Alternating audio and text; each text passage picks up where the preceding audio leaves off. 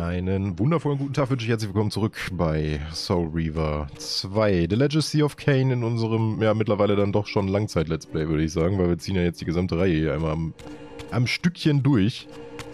Ähm, wo waren wir hier?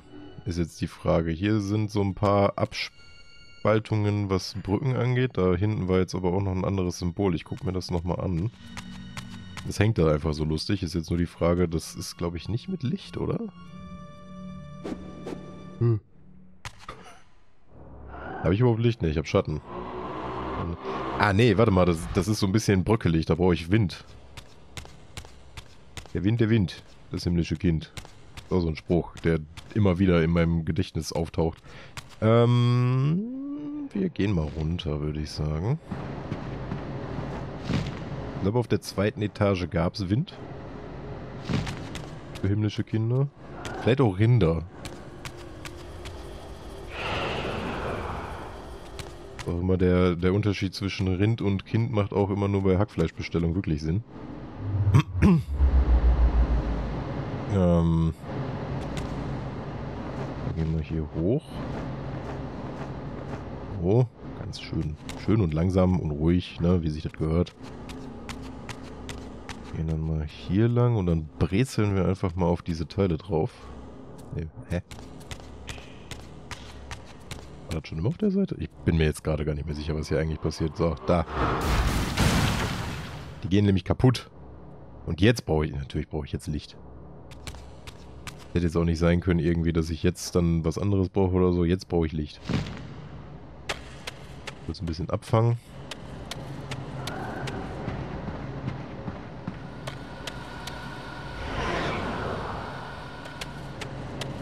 Dann nehmen wir den.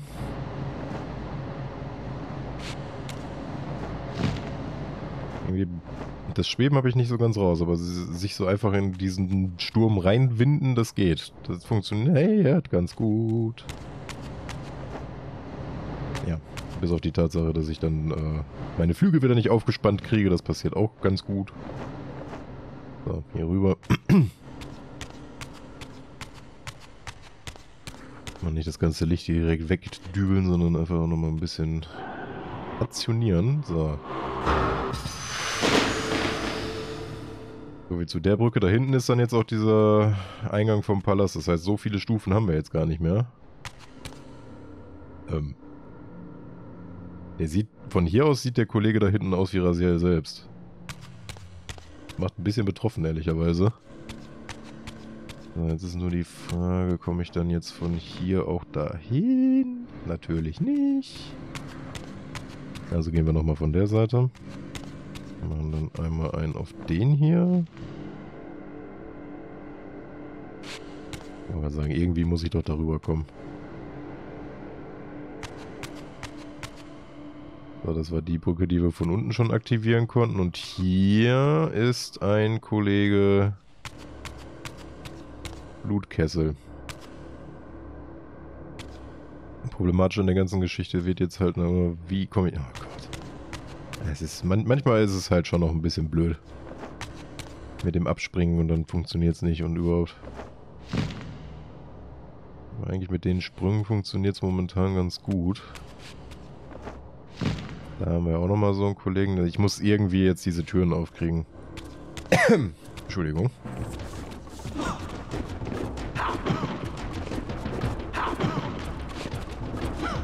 Wie gesagt, ich weiß jetzt auch gerade im Moment noch nicht, ob jetzt die anderen Projekte auch schon wieder angelaufen sind oder wie wir das dann jetzt handhaben und sowas. Momentan ist wieder ein bisschen Vorproduktion damit, ne? Aber wir, wir, wir fangen uns aktuell ein bisschen.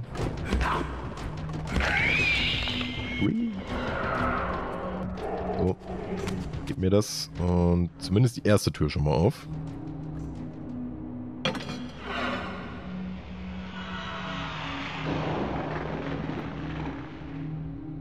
Das heißt, ich kann zumindest den einen Kelch schon mal holen, würde ich sagen. Also hier haben wir ja auch direkt Blut. Da hinten dürften Kelche sein. Es sind ein bisschen Laufwege jetzt tatsächlich, aber ich habe keine Kelche gesehen, die ein bisschen früher kommen. Also gehe ich diesen Weg. Gib mir das bitte. Danke.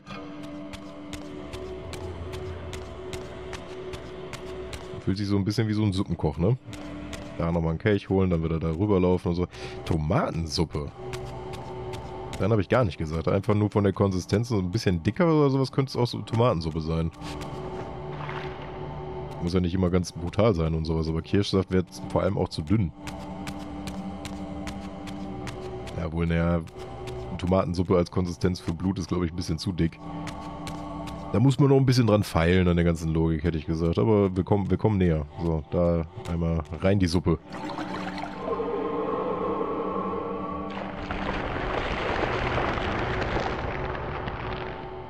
Womit hätten wir den? Ist jetzt nur die Frage, komme ich jetzt komplett bis da hinten hin mit der anderen Geschichte oder was machen wir jetzt hier? Na, guck mal, da kann ich jetzt dann auch wieder fliegen.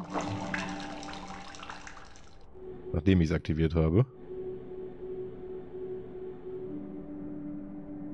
Könnte dann da hinten hin. Ist jetzt nur die Frage. Warte mal. Kann ich jetzt bis hier hinten einmal durchlaufen? Weil da hinten muss ich jetzt auf jeden Fall noch das andere Tor aufmachen, glaube ich. Ah, muss ich, glaube ich, gar nicht. Ich glaube, ich kann mir das andere Tor sparen sparen, wenn ich ehrlich bin, oder kann ich da von der anderen Seite einfach nur für die Lulz mal... Ich könnte mir jetzt natürlich auch noch einen Kelch holen und dann einmal den kompletten Weg zickzack bis dahin laufen, bis zu dem Tor. Ja, kann sagen, ich kann ja hier einfach lang. Dafür ist diese Pseudobrücke ja da. Guten Tag.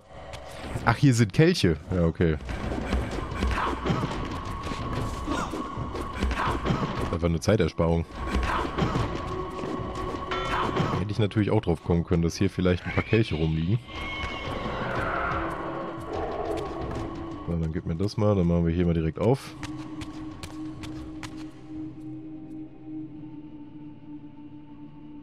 Klack. Nächste Tür weg. So, dann haben wir hier dann auch direkt nochmal einen Kelch. Ist ja so die Frage, ob der dann mehr bringt als der andere, aber na gut. Ist hier weiter noch irgendwas? Also hier kann ich diese Brücke dann jetzt theoretisch nochmal aufmachen, aber die haben wir ja beim letzten Mal schon. Also die ist ja von unten dann schon geöffnet worden, das heißt, die bringt jetzt auch nicht mehr so viel, aber die Kelche vielleicht zumindest. Also ich nehme mir hier mal einen mit. Kann ich ja dann auf dem Weg zu dem, den ich eigentlich brauche, dann nochmal auffüllen, soweit ich das jetzt in Erinnerung habe.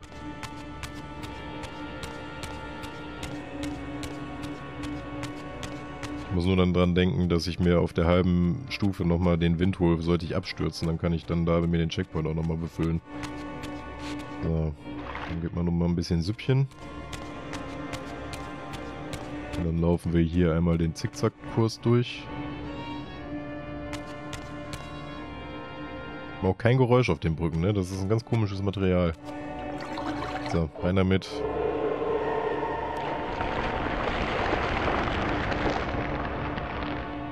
Und die große Brücke. Und hier brauchen wir jetzt noch was anderes. Jetzt brauchen wir hier Feuer, oder was? Ah. Oder ist es einfach nur ein Button?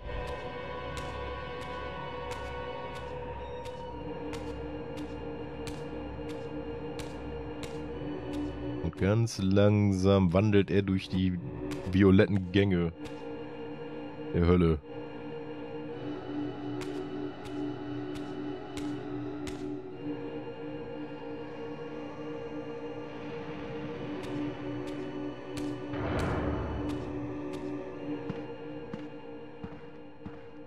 Na? Janus Audrey? Tut gut, nach all den Jahren meinen Namen ohne verachtenden Unterton zu hören. Raziel, mein Kind, was haben sie dir angetan? Ich ging durch die Hölle und zurück. Das alles nur, um diesen Moment zu erleben. Ich weiß nur nicht warum. Tausende von Jahren wartete ich. Allein. Verlor den Glauben in der Zeit der Bindung ernannte man neun Wächter als Hüter der Säulen. Ich leistete den Schwur als zehnter Wächter. der Hüter des Reavers, die Waffe der Erlösung. Jahre vergingen, unsere Rasse starb. Ich überlebte, denn ich war dir verpflichtet und dem heiligen Schwert. Was geschah mit den neuen Wächtern? Waren sie nicht gestärkt durch ihre Pflicht? Ich weiß es nicht. Während unsere Rasse verging, erblühten die Menschen. Jahrhunderte zogen vorüber und unsere Geschichte wurde Mythos und verschwand. Die Menschen haben uns vergessen und die Säulen für sich beansprucht, in völliger Unkenntnis ihres wahren Zwecks. Für sie bin ich ein Teufel, Ursprung ihrer Vampirplage. Warum erlaubten die Säulen menschliche Wächter, wenn sie doch die Vampire dafür bestimmten? Die Säulen wählen ihre Wächter durch Geburt, Raziel. Aber Vampire werden nicht mehr geboren. Das ist unser Dilemma. Und das ist die böse Ironie. Mit ihrer Jagd auf die Vampire attackierten die Mitglieder des Kreises die wahren Erbauer der Säulen, die zu schützen sie geschworen hatten. Sie haben sich auf einen tückischen Pfad begeben. Jeder Vampir, den sie töten, ist ein Schritt in den Abgrund. Sie wissen, dass ich ihnen entkam, und das macht sie rasend. Du siehst ja, wie sie mit ihren Verbrechen protzen. Vielleicht, um mich herauszulocken. Sie leben in der närrischen Vorstellung, mein Tod wäre unser Untergang. Zum Glück sind wir stark. Ich habe gesehen, wie sie unten im Dorf ihre Truppen sammeln. Ja. Ich weiß nicht genau, was sie vorhaben. Doch ich fürchte, unsere Zeit könnte sehr knapp werden. Die Menschen haben dir offenbar nur Kummer und Gram beschert. Du musst sie hassen. Sie fürchten, was sie nicht verstehen. Und sie hassen, was sie fürchten. Doch nein, ich hasse sie nicht. Vorador schon. Er hat viel leiden müssen. Er kann ihnen nicht vergeben. Sollte man ihnen vergeben?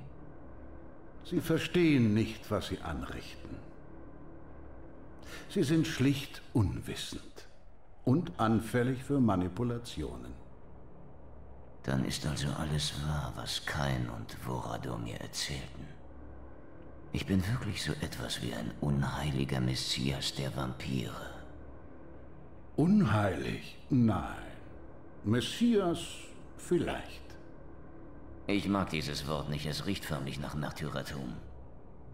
Raziel, deine Rolle beim Schicksal dieser Welt ist entscheidender und weit hilfreicher, als du dir je zugestehen wolltest. Deine Reise wird nicht einfach sein. Dunkle Mächte haben sich gegen dich verbündet. Aber ich glaube, das weißt du längst. Du scheinst auf grausame Weise geprüft worden zu sein. Die Bindung muss gesichert werden, Raziel. Die Säulen sind das Schloss. Und der Reaver ist der Schlüssel. Ja. Der Reaver ist hier. Aber warum spüre ich da nichts? Die wunderbarste Waffe, die unsere Waffenschmiede je geschaffen haben. Sie flößten der Klinge die Energien des Vampirismus ein und gaben dem Reaver die Fähigkeit, unseren Feinden den kostbaren Lebenssaft auszusaugen. Als Janus die Klinge präsentierte, kroch eine unerklärliche Furcht in mir auf. Weit schrecklicher als alles, was ich je zuvor empfunden hatte. Sofort stieß mich das Schwert schroff zurück und doch fühlte ich den unwiderstehlichen Drang, es zu berühren, es aufzunehmen. Bitte, Nimm es fort von mir.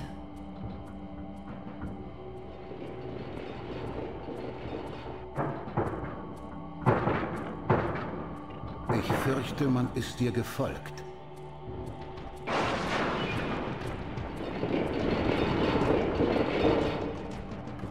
Dich selbst in Sicherheit bringen, Raziel.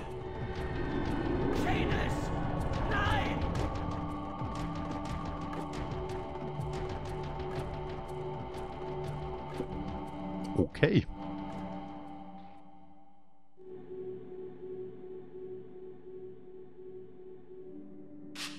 Alles wirbelte um mich herum. Und ehe ich mich versah, fand ich mich in einem angrenzenden Raum wieder. In sicherer Entfernung zu den Kämpfen. Janus hatte mich vor den Seraphan geschützt und selbstlos seine eigene Sicherheit verwirkt, um mein Leben zu bewahren. Und nun befürchtete ich, dass mein neu gefundener Mentor ermordet wurde, von jenen Kreuzzüglern, die ich noch vor kurzer Zeit bewundert hatte. Diese Ironie gab mir einen tiefen Stich. Und mit wachsendem Entsetzen dämmerte mir, dass Möbius mich von Anfang an betrogen hatte. Denn die Seraphan waren einfach dem Weg gefolgt, den ich leichtfertig durch diese Zuflucht gebahnt hatte. Und bei ihrer Ankunft trugen sie Möbius Stab. Damit war ihnen Janus ausgeliefert. Durch die Tür hörte ich sie kämpfen, gerade mal ein paar Schritte entfernt. Aber es hätten genauso gut tausend Kilometer sein können. Denn dieses Hindernis war von elementaren Kräften verschlossen, die ich nicht besaß. Es schien so, als hätte Janus mich in das Herz der Weihestätte des Feuers gebracht. Ich hoffte, das Feuer der Schmiede entfachen und den Reaver mit deren Kraft aufladen zu können, um Janus sein schreckliches Schicksal zu ersparen. So manipulieren wir wieder die Zeit ein bisschen, oder was?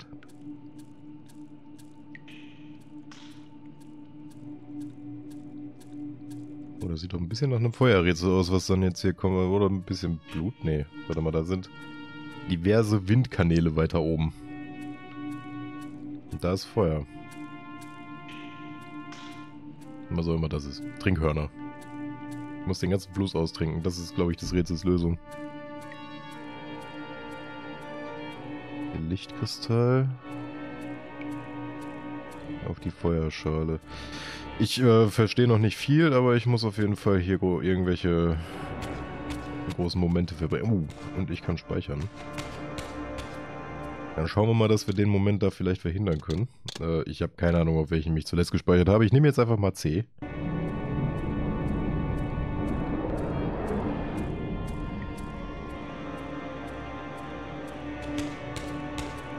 Dann gucken wir mal, wie wir diesen Raum hier lösen können. Ja, hier schon mal nicht. Also das wird wahrscheinlich dann eine Schale... Das wird dann so einer der letzten sein. Ich denke mal Feuer. Also zumindest spielt sehr, sehr viel auf Feuer hin momentan. Ich gehe einfach mal runter. Und gucken wir mal an, was da jetzt unten eigentlich Phase war. Vielleicht kann ich den hier auch schon in Flammen abbrennen oder auch nicht. Ah, ah, okay. Fackeln.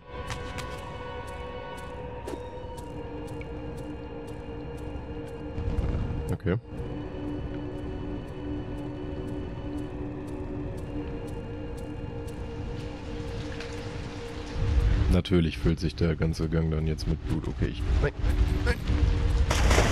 Okay.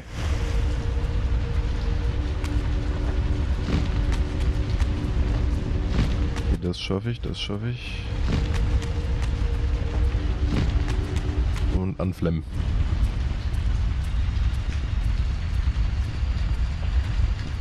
Dann zieht sich das jetzt wieder zurück. Okay, da ist dann das Licht. Jetzt ist die Sache, ich kann jetzt diese Windkanäle ohne Wind natürlich nicht aktivieren. Da hinten ist nochmal eine Fackel, da sind diverse Fackeln. Ähm. Ich hätte wirklich wahnsinnig gerne einen Windreaver, bin ich ehrlich. Das ist nur die Frage, wo ich den herkriege. Oder kann ich jetzt bis zum Licht erstmal so? Ich kann ja auch mal durchs Blut ein bisschen, ne? Beziehungsweise durch die Tomatensuppe oder den Kirschsaft, je nachdem, worauf wir uns jetzt hier einigen. Können wir natürlich auch erstmal das Licht schnappen auf den Kristall ballern.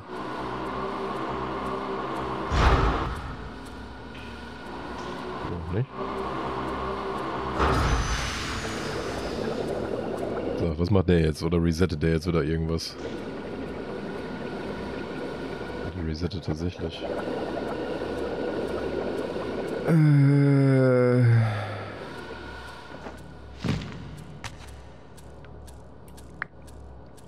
Ja.